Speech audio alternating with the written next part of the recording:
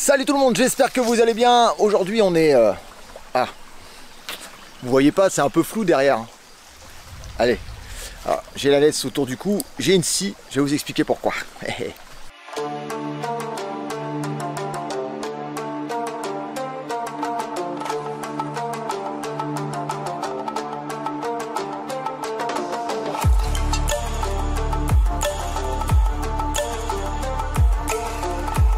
Donc avec la scie, on va aller récupérer euh, une branche, enfin plutôt, euh, on est quand même euh, dans un endroit où il y a beaucoup de- d'arbres entre guillemets morts, il y en a quelques-uns on va dire, et ça va me permettre moi bah, de... Maiko, alors il est en train de me défoncer tout le terrain, de faire le zouave. Donc on va aller récupérer tout simplement une branche que j'ai vue, qui était retenue par un arbre, enfin c'est plutôt, euh, ça va être sympa. Donc je vais prendre la scie, j'espère que je vais arriver à découper cette branche. La grosse branche, je pense que ça va être pour le terrarium de Léon, pour aménager euh, son, terrarium différemment. En même temps, ça me permet euh, de faire une intro de la vidéo parce que j'attaque la deuxième pièce reptile. Et dans cette vidéo, je vais vous montrer bah, comment je fais mon, ma batterie entre guillemets de terrarium de 60 45 60 donc normalement dans cette étagère que je suis en train de construire. Il va y en avoir 6 donc normalement c'est 2 fois 6 pour l'instant techniquement là il va y en avoir 7 pour l'instant, 4 mâles et 3 femelles. Et le but c'est de retrouver d'autres femelles, mais je prends tout mon temps parce que je veux vraiment euh, avoir des animaux euh, qui me plaisent, parce que c'est dans mon projet capacitaire, c'est dans mon projet de faire de la repro, donc comme je vous l'ai déjà dit, sur le gecko à crête, sur le Pitiophis catennifer sailly et sur le Pitiophis melonolucus londingui. J'avais fait une batterie déjà, euh, moi-même mes installations d'étagères. Là je vais faire quelque chose euh, de différent, parce que ça va être euh, pour mettre en valeur les terras et le but c'est vraiment euh, de mettre tout en valeur. Allez, j'arrive à la branche, je vais vous la montrer. Voilà, la branche c'est celle-là. Comme vous pouvez le voir, voilà, elle est retenue par un arbre, un gros. Donc le but c'est de découper. Alors si j'y arrive, je vous la montre en fin de vidéo. Si j'y arrive pas, eh ben, oh On peut avoir un peu de respect Hein mon chien voilà, ça, voilà, elle a mis encore plein de, plein de terre. Donc voilà, c'est vraiment un endroit, euh, franchement, je suis à quelques centaines de mètres de chez moi.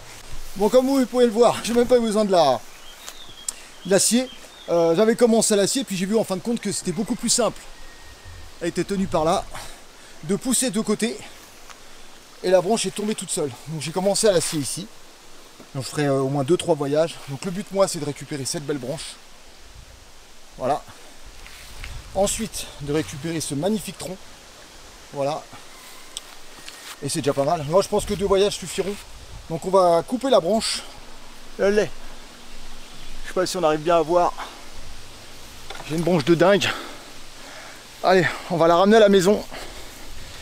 Faire un petit peu de chemin. Je suis à même pas 10 minutes à tout casser de la maison avec la branche. Comme je vous dis, elle est, elle est sublimissime. Je vais rentrer pour euh, bah, la traiter entre guillemets. Vu la taille je pense que ça va prendre au moins 24 heures.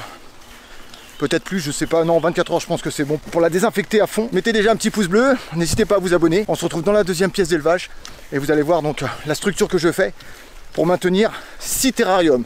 60 45 60 de la gamme Terratlantis. Bon les amis, donc là on est dans la deuxième pièce d'élevage. Donc euh, là on est sur une pièce qui fait autour de 12 mètres carrés.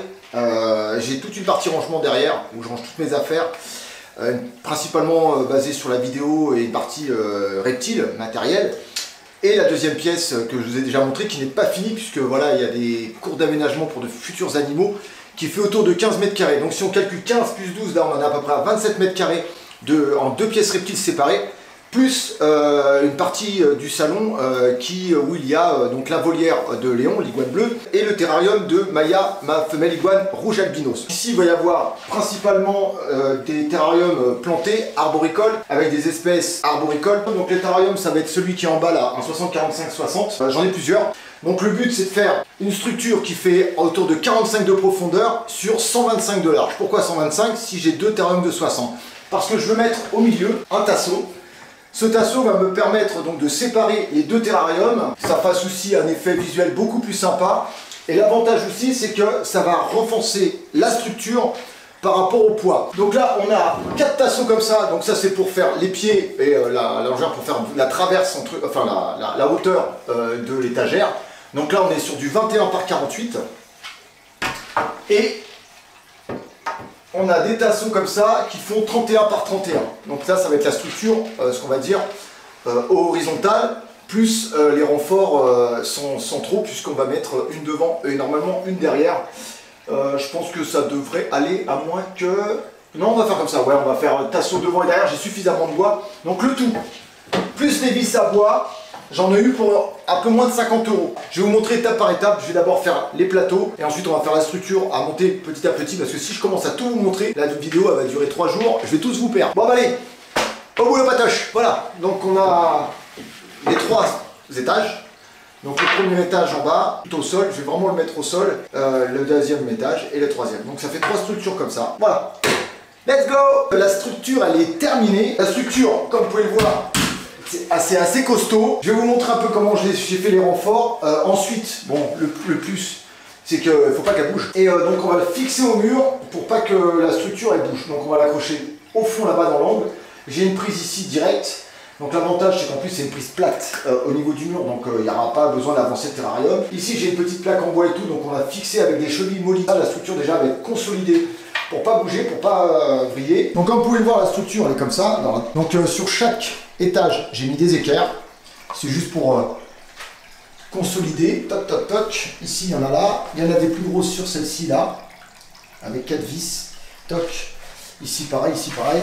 Là, derrière, euh, j'avais des attaches d'avant. J'en avais deux comme ça d'avance. Je les ai mises. Donc là, on a euh, quatre points d'attache. Pareil ici, on a mis les mêmes là et là. Et à l'arrière, voilà, j'ai mis ça pour que ça soit vraiment aligné entre les planches qui sont là. Je vais vous montrer déjà, je vais mettre le premier terrarium à l'intérieur des geckos à crête, je vais mettre le deuxième à la côté. Je suis en train de me tâter parce que j'ai déjà 4 terrariums ici. Si j'en fais à le côté 4 terrariums, plus les deux grands, je pourrais mettre plusieurs femelles ensemble. Donc j'ai placé le premier terrarium à l'intérieur. Donc c'est vrai que là, bon, ça, fait, ça paraît un peu nu parce qu'ils sont pas habillés.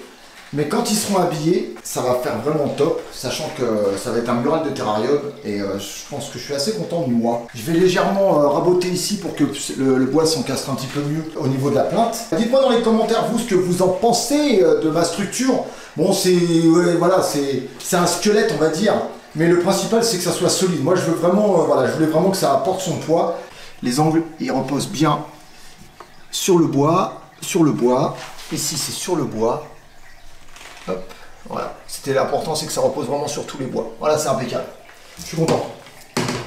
I am happy. Voilà ce que ça donne. Voilà, donc c'est le début et si tout va bien, il y aura la deuxième structure qui va passer ici. Dites-moi dans les commentaires si vous trouverez que ça ferait sympa au niveau du visuel de prendre plutôt un terrarium de 120 de large sur 45 de profondeur sur 60 de haut. Dites-moi dans les commentaires si vous pensez que ça pourrait être sympa. Donc 4 comme ça et un différent en haut au niveau visuel, je pense que ça peut être sympa. Bon les amis, on arrive à la fin de cette vidéo, j'espère que ça vous a plu. Donc n'oubliez pas le petit pouce bleu, n'oubliez pas de vous abonner et surtout la petite cloche qui est très très importante pour les notifications lors des sorties euh, vidéo et ainsi de suite. N'hésitez pas à commander le registre animaux non domestiques euh, qui est obligatoire. Persiste à le dire, faites attention à ça. Soit vous cliquez le lien directement en dessous euh, de la vidéo dans la description, sinon vous allez directement sur Amazon, vous tapez registre l'œil du Celt et vous le commandez, il est édité à la commande. Je suis content parce que le projet avance. La deuxième pièce, euh, ça va vraiment être un endroit de végétation, un endroit euh, exotique. C'est vraiment un énorme plaisir pour moi de vous partager euh, l'avancée euh, dans, bah, dans ma passion, dans mes projets et ainsi de suite. Surtout, n'hésite pas à commenter, dis-moi ce que t'en penses et moi je te dis à bientôt pour de prochaines aventures. Sur ce, prends soin de toi, prends soin de tes bêtes, prends soin de tes proches. Peace tout le monde, ciao ciao